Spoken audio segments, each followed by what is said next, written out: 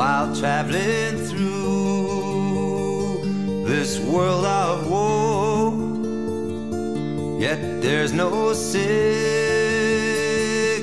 toil, or danger in that bright world to which I go. I'm going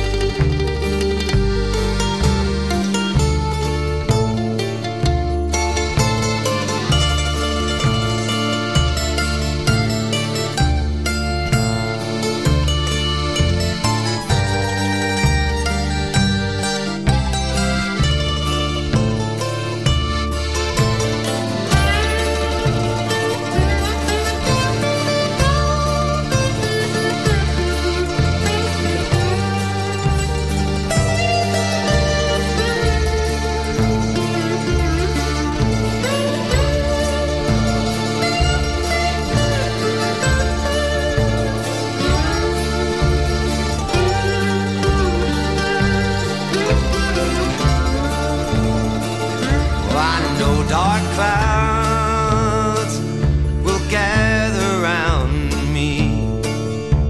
I know my way is rough and steep, yet beauteous fields lie just before me, where God's redeemed